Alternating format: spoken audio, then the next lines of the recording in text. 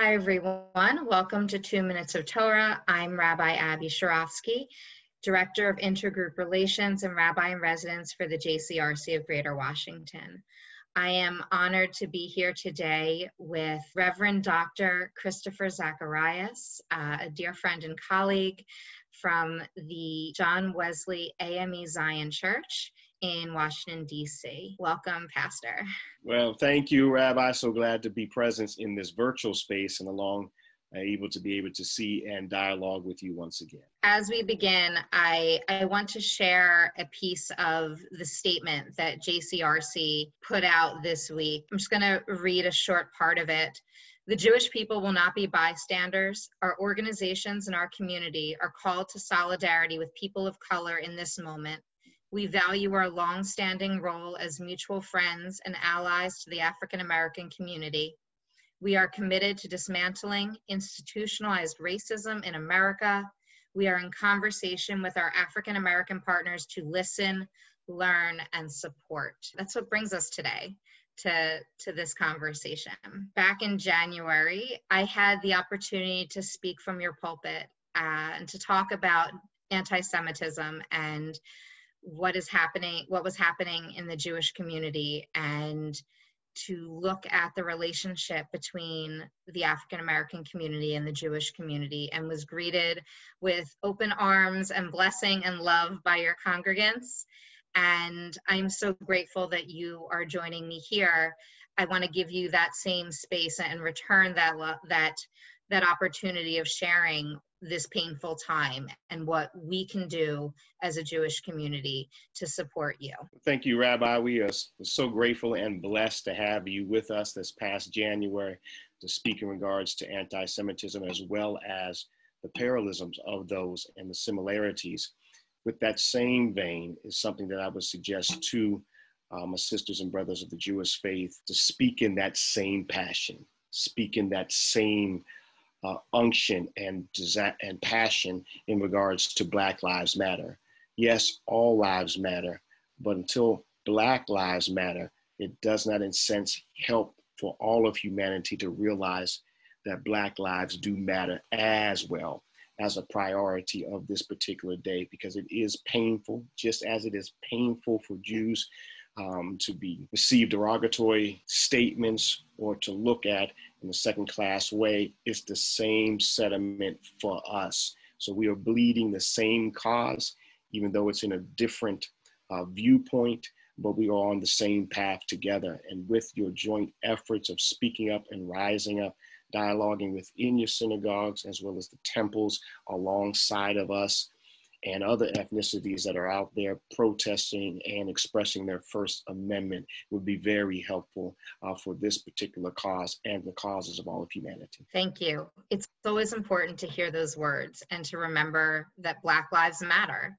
I, I was listening to you and thinking about the, the place of prophetic voice at a time like this. We can re- we reach out to you know our communities but i think there's also an obligation that we have as clergy to other clergy how do we raise our prophetic voices at a time when it's so painful and and we ourselves are feeling the pain and the exhaustion pain with a purpose is what this prophetic call causes for us to do. And with that, God calls us to be unpopular, but yet popular with Him, to be able to speak truths to powers as well as to bring about transformational change for both of us who uh, follow the Bible and specifically the Torah. We are now the Moseses that God is calling us out of back of Mount Nebad. Hey, let my people go. Go tell old Pharaoh, let my people go. And that's all people, as well as our own people from our own nationality. And that's the voice that we must continue to cause for me specifically as, as for Jesus, that we are that voice crying out in the wilderness. And that's where I'm standing firm on in private, inside the church, and now specifically outside the church. We can no longer, at this COVID 19 season, go to the synagogue, go to the house of faith or to churches to worship our God. We're worshiping now, even through this dialogue of Him And now, specifically, God's allowing this COVID 19 situation to push us out of the building. Get involved with the people because I am them and they are me. So believe that I am has sent you. And that's where the prophetic voice goes for. We know, regardless of what we do, somebody's going to have an opinion, somebody's not going to like it. But until we take on this firm voice of God and follow his voice only, then we will have peace. Because at the end of the day, it's him we have to answer to no one else. Moving forward and where we go from here is not easy.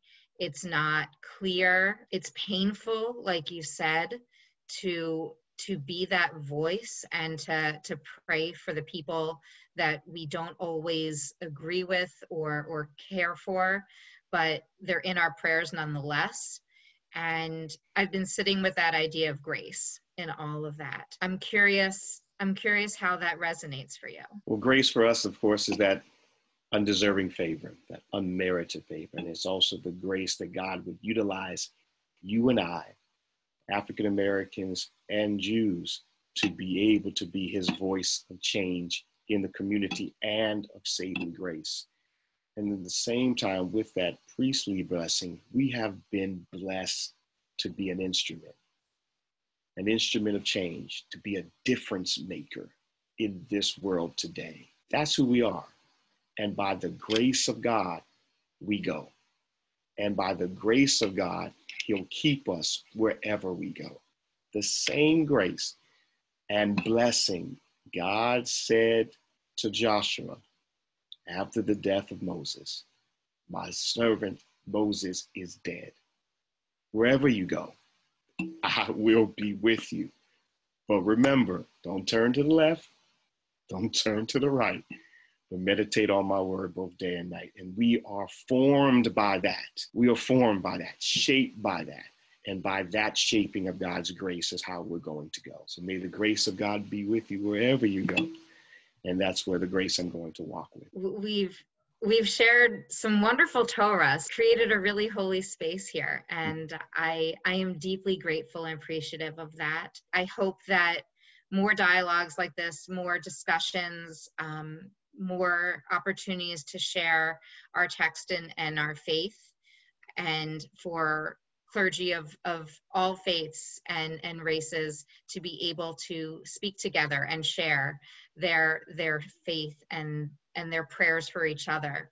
I hope that can happen. We want to continue to also cultivate this now and forever as we continue to dialogue, learning of each other, respecting each other's opinions, but working towards the common good for all of humanity, as well as the specific priorities of each particular race. So let's be intentional about that. Thank you so much for your time. I I pray that your community remains safe. My prayers that you are being held uh, being held in God's hands and uh, with blessing.